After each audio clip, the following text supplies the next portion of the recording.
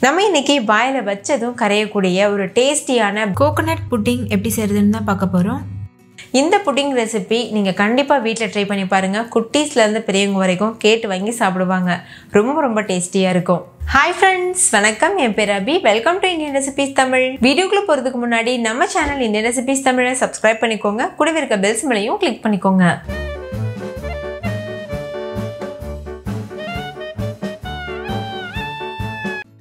First இந்த recipe பண்ணுறதுக்கு ஒரு முழு தேங்காய் எடுத்துக்கோங்க. அதை சின்ன சின்ன பீசஸாக கட் பண்ணிவிட்டு இந்த மாதிரி எடுத்துக்கோங்க. முடிஞ்ச அளவு பின் பக்கத்தில் இருக்கக்கூடிய அந்த ப்ரௌன் பார்ட் இருக்குல்ல அதை வந்து சீவி எடுத்துருங்க வெளியில். அப்போ தான் நம்மளுக்கு நல்ல ஒயிட் கலரில் தேங்காய் பால் கிடைக்கும். எல்லா தேங்காயிலையும் நீங்கள் அந்த ப்ரௌன் பார்ட் ரிமூவ் பண்ணணும்னு அவசியம் இல்லை. எந்தெந்த பீஸ்லாம் நல்ல பெரிய பெரிய பீஸஸாக இருக்கோ அதில் இருந்து அந்த ப்ரௌன் கலர் பார்ட்டை ரிமூவ் பண்ணிடுங்க ரிமூவ் பண்ணிவிட்டு இந்த மாதிரி ஒரு மிக்சி ஜாருக்கு மாற்றிடுங்க பாருங்கள் இந்த மாதிரி.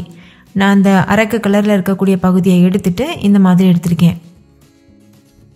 இது நீங்கள் எடுக்காமல் அப்படியே கூட தேங்காய் பால் எடுக்கலாம். என்ன கொஞ்சம் கலர் மட்டும் சேஞ்ச் ஆகும். நம்ம புட்டிங்குடைய கலர் வந்து சேஞ்ச் ஆகும்.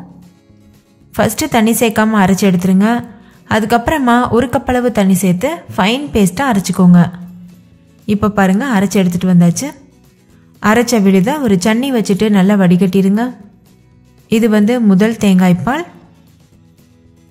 இந்த மாதிரி நல்லா பிழிஞ்சு விட்டு பால் எடுத்துக்கோங்க. இந்த பால் நல்ல திக்காக இருக்கும். இப்போ இந்த பால் ஒரு உரமாக இருக்கட்டும்.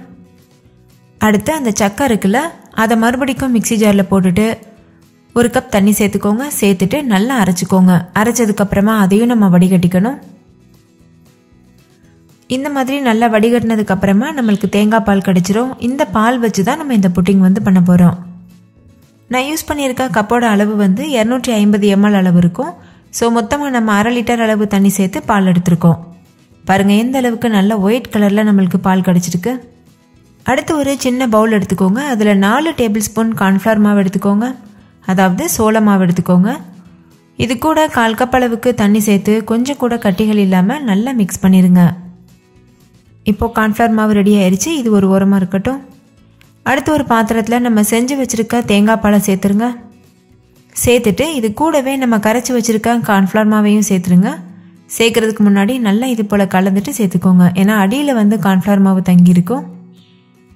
இது கூடவே அரைக்கப்பளவு சர்க்கரை சேர்த்துக்கோங்க. நீங்கள் நல்லா தித்திப்பாக சாப்பிடுவீங்கன்னா முக்கால் கப்பளவுக்கு கூட சர்க்கரை சேர்த்துக்கலாம். சேர்த்துட்டு நல்லா கலந்துருங்க. இப்போ ஸ்டவ் ஆன் பண்ணிக்கோங்க.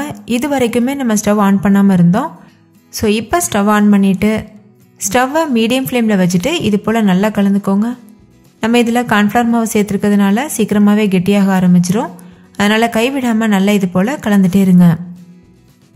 உங்களுக்கு வேணும்னா இதில் நீங்கள் ஏதாவது எசன்ஸ் கூட சேர்த்துக்கலாம். வெனிலா எசன்ஸ் இந்த மாதிரி. எனக்கு தேங்காய் பாலோட வாசனையே ரொம்ப பிடிக்கும். அதனால் நான் அப்படியே எந்த எசன்ஸும் சேர்க்காம விட்டுருக்கேன். இப்போ பாருங்கள் நான் சொன்னது போல் கட்டியாக ஆரம்பிச்சிருச்சு. நல்ல ஒரு ஸ்மூதி கன்சிஸ்டன்சியில் இருக்குது இந்த ஸ்டேஜில் ஸ்டவ்வை ஹை ஃப்ளேமில் வச்சுட்டு நல்லா கொதிக்க வச்சுக்கோங்க. நல்லா கொதி வரும்போது நீங்கள் ஸ்டவ் ஆஃப் பண்ணிடலாம். அப்போ இன்னுமே நல்லா கெட்டியாக இருக்கும். இப்போ பாருங்கள் நல்லா கொதிக்க ஆரம்பிச்சிருச்சு. இது இன்னும் கொஞ்சம் கெட்டியாகணும். அது வரைக்கும் நம்ம கலந்துகிட்டே இருக்கலாம். நம்ம இதில் வெறும் மூணு பொருள் தான் சேர்த்துருக்கோம். தேங்காய் பால் சர்க்கரை கார்ன்ஃப்ளவர் இது மூணும் தான். ஸோ வீட்டில் இருக்க பொருள் வச்சு சட்டுன்னு ஒரு ஸ்வீட் ரெடி பண்ணணும்னு ஆசைப்பட்டீங்கன்னா இதை செஞ்சு பாருங்கள் ரொம்பவே டேஸ்டியாக இருக்கும். இதை நம்ம சம்மரில் கூட ட்ரை பண்ணலாம். ஃப்ரிட்ஜில் வச்சு சில்லுன்னு சாப்பிடும்போது இன்னுமே ரொம்ப சுவையாக இருக்கும். இப்போ பாருங்கள் நல்லாவே கெட்டியாயிருச்சு. பார்க்கும்போது உங்களுக்கே அந்த பக்குவம் தெரியுதுல்ல? இந்த ஸ்டேஜில் ஸ்டவ் ஆஃப் பண்ணிவிட்டு இதை வேற ஒரு பவுலுக்கு மாற்றிடுங்க நான் வந்து கண்ணாடி பவுலில் மாற்றிருக்கேன் நீங்கள் கண்ணாடி பவுல் தான் யூஸ் பண்ணணும் இல்லை சில்வர் பவுல் கூட யூஸ் பண்ணலாம்.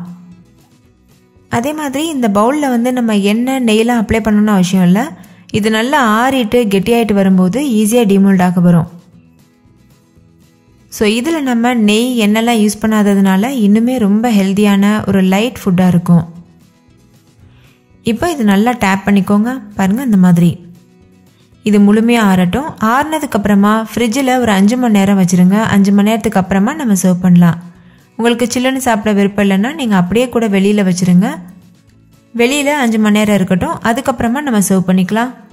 இன்னும் கொஞ்சம் புட்டிங் மீதம் இருந்தது. அதை நான் இது போல் சின்ன பவுலில் ஊற்றி வச்சுருக்கேன். பாருங்கள் இந்த மாதிரி. இதையும் நல்லா டேப் பண்ணிவிட்டு ஆற வச்சிடலாம் ஆற வச்சுட்டு ஃப்ரிட்ஜில் ஒரு அஞ்சு மணி நேரம் இருக்கட்டும். ஃப்ரீசரில் இல்லை ஃப்ரிட்ஜில் வச்சா போதும். இப்போ பாருங்கள் நல்லா ஆறிட்டு சூப்பராக செட் ஆகிருக்கு தொட்டு பார்க்கும்போதே தெரியும் நல்லா செட் ஆகிருக்கு இப்படியே நீங்கள் ஒரு பிளேட்டில் கவிழ்த்துனீங்கன்னா ஈஸியாக டிமோல்ட் ஆகி வந்துடும் அவ்வளோதான் நம்மளோட டேஸ்டியான தேங்காய் பால் புட்டிங் சூப்பராக தயாராகிருச்சு நீங்களும் கண்டிப்பாக ட்ரை பண்ணி பாருங்கள் இதுக்கு மேலே கொஞ்சமாக மாதுளம்பழம் அப்படி இல்லைன்னா கொஞ்சமாக நட்ஸு கூட தூவிட்டு நீங்கள் சர்வ் பண்ணலாம். பார்க்குறதுக்கு நல்லா அழகாக இருக்கும். நீங்களே பாருங்கள் எப்படி ஜெல்லி மாதிரி இருக்குது இப்போ நம்ம இதை கட் பண்ணிவிட்டு சர்வ் பண்ணிடலாம். வாயில் வச்சதும் கரையக்கூடிய தேங்காய் பால் புட்டிங் சூப்பராக தயாராக இருக்குது நீங்களே பாருங்கள் நல்ல ஒயிட் கலரில் ஜெல்லி மாதிரி முக்கியமாக குழந்தைங்களை அட்ராக்ட் பண்ணுற மாதிரி இருக்கும். இதே மாதிரி நம்ம சேனலில் நிறைய வெரைட்டியான புட்டிங் ரெசிபிஸ் நான் அப்லோட் பண்ணியிருக்கேன். அது எல்லாத்துடைய லிங்க்கும் டிஸ்கிரிப்ஷனில் இருக்குது வேணா செக் பண்ணி பாருங்கள் அதுவும் உங்களுக்கு ரொம்ப யூஸ்ஃபுல்லாக இருக்கும். ஓகே ஃப்ரெண்ட்ஸ் இந்த புட்டிங் உங்களுக்கு ரொம்ப பிடிச்சிருந்துச்சுல பிடிச்சிருந்தா லைக் பண்ணுங்கள் ஷேர் பண்ணுங்கள் நீங்களும் செஞ்சு பார்த்துட்டு டேஸ்ட் எப்படி இருந்ததுன்னு கமெண்ட் பண்ணுங்கள் தேங்க்யூ